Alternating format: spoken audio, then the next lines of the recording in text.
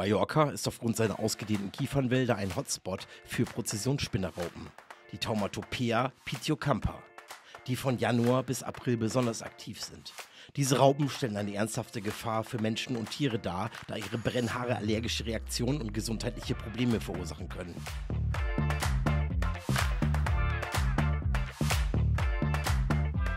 Bei Nami Green haben wir uns der Aufgabe verschrieben, die Natur zu beobachten und zu schützen.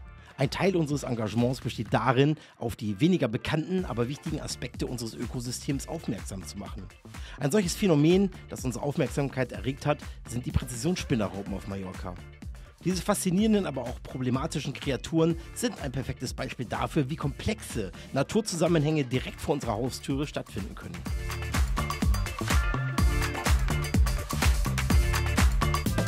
Im Rahmen unserer Mission haben wir die Prozessionsspinnerraupen genauer beobachtet, um ein besseres Verständnis für ihr Verhalten und die Auswirkungen auf die lokale Flora und Fauna zu gewinnen. Unsere Beobachtungen haben gezeigt, dass die Raupen nicht nur eine faszinierende soziale Struktur aufweisen, indem sie in langen Reihen wandern, sondern auch, dass ihre Brennhaare eine ernste Bedrohung für Menschen und Tiere darstellen können.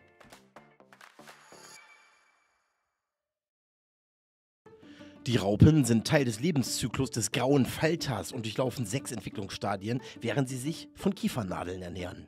Ihre seidigen Nester, die in den Bäumen hängen, sind ein deutliches Warnsignal für die Anwesenheit der Raupen. In ihren frühen Stadien bilden sie seidige Nester an den Ästen der Kiefern, die als Schutz vor Witterungseinflüssen und Fressfeinden dienen. Während dieser Zeit ernähren sich die Raupen von den Nadeln der Kiefern, was zu sichtbaren Schäden am Baum führen kann.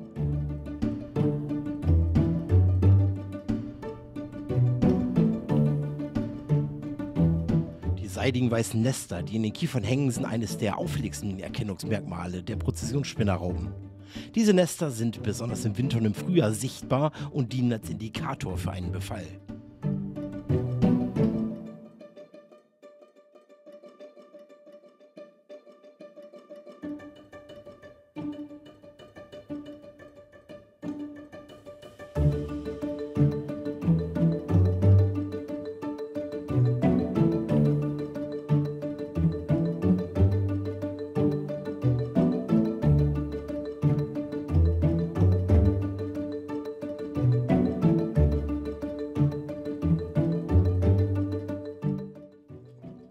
Raupen selbst sind an ihrer charakteristischen Farbgebung und den langen Haaren erkennbar. Sie haben eine schwarze oder dunkelbraune Grundfarbe mit orangefarbenen oder gelben Seitenstreifen und sind mit feinen und den giftigen Brennhaaren bedeckt.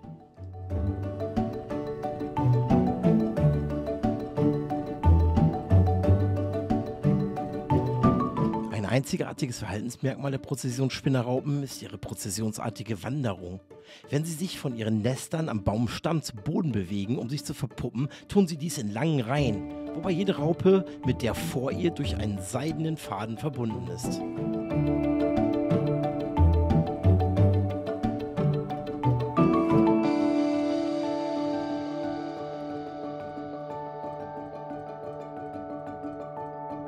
Die Brennhaare der Raupen, die das Protein Taumatopein enthalten, sind für Menschen und Tiere gleichermaßen gefährlich.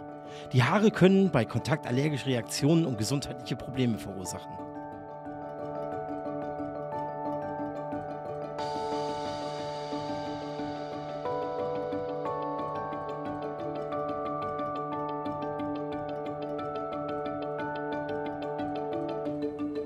Durch das Verständnis des Lebenszyklus und der Erkennungsmerkmale der Prozessionsspinnerraupen können Maßnahmen zur Prävention und Kontrolle besser geplant und umgesetzt werden, um die negativen Auswirkungen auf die Umwelt, die menschliche Gesundheit und die Tierwelt zu minimieren.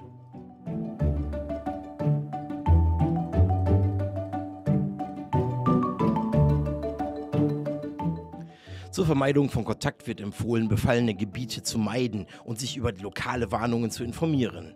Bei Kontakt sollten betroffene Stellen sofort mit Wasser gereinigt werden. Bei schweren Reaktionen ist schnellstmöglich medizinische Hilfe in Anspruch zu nehmen.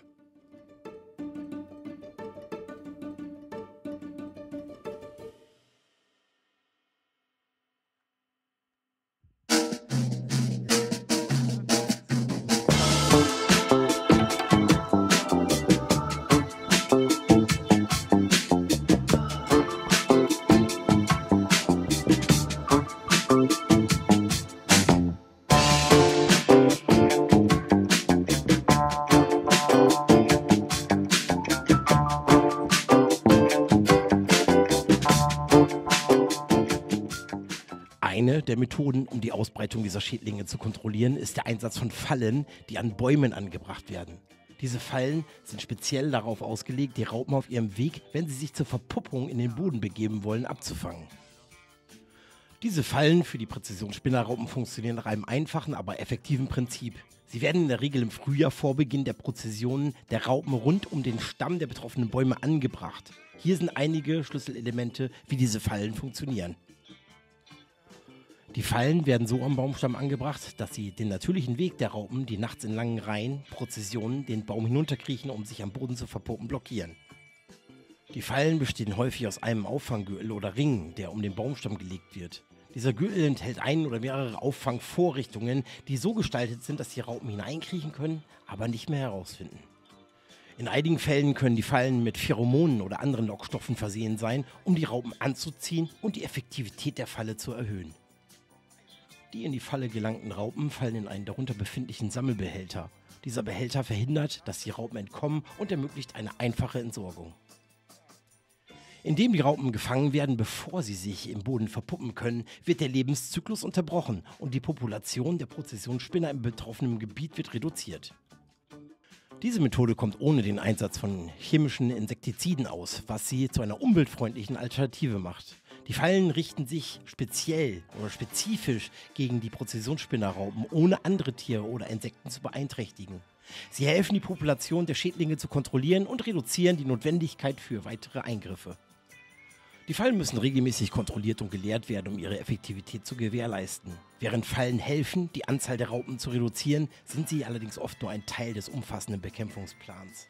Die Verwendung von Fallen ist eine nützliche Strategie im integrierten Schädlingsmanagement gegen Prozessionsspinnerraupen, insbesondere in Gebieten, wo der Einsatz von Chemikalien vermieden werden soll oder muss.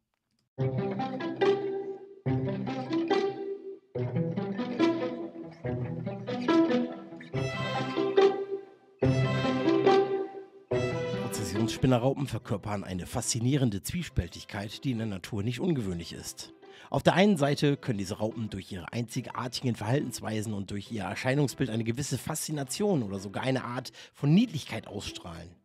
Ihre namensgegebenen Prozessionen, bei denen sie in langen Reihen hintereinander den Baumstamm hinunter oder über den Boden kriechen, sind ein bemerkenswertes Naturschauspiel. Die dichte, haarige Beschaffenheit der Raupen kann auf den ersten Blick faszinierend wirken und ihre soziale Lebensweise, die in der Tierwelt eher selten vorkommt, weckt Interesse und Neugier.